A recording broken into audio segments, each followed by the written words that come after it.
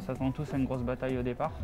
Puis après, on, verra la consistance de l'échappée, ce qui déterminera aussi euh, si l'échappée euh, peut aller au bout ou pas. Après, s'il n'y a que 5-6 mecs dans l'échappée, il n'y a pas trop de chance qu'elle aille au bout.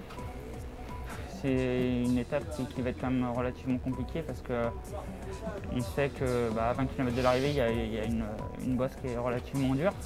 Et voilà, où forcément, si le placement est, pas bon, peut être 50e euh, et puis euh, pas réussir à, suivre le, premier groupe qui risquera des attaques dans cette bosse.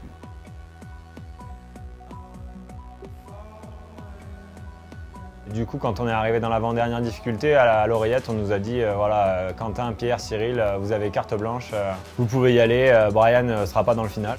Au feeling, je me suis lancé dans les initiatives. Quoi. À ce moment-là, ils étaient peut-être que deux Sunweb et il y avait Bob Jungles aussi, euh, quinzaine de secondes devant le peloton. Du coup, j'ai vu l'ouverture euh, et je suis parti, je crois, tout seul à ce moment-là. Les Sunweb ont fait un tempo euh, de folie pour Marc Hirschi qui était vraiment très fort. Je suis monté à ma main. Là, quand je me retourne, je vois qu'il y a Pierre qui est là. La charge de la poursuite, elle était en partie, à, la, step, étant donné que c'est un peu l'épouvantail de, de l'échappée à la Philippe quand il est là. Pierre a réussi à se dégager à 2 km et demi de l'arrivée, je crois, à peu près. Moi, je suis resté concentré jusqu'à la fin pour essayer de faire un sprint, un sprint sympa et aller chercher un accessible. De manière personnelle, je suis assez fier et assez content de la façon dont on court avec euh, l'équipe. Euh, on est offensif, on prend des initiatives, c'est pas trop complexe. C'est un régal de courir avec un coureur comme ça.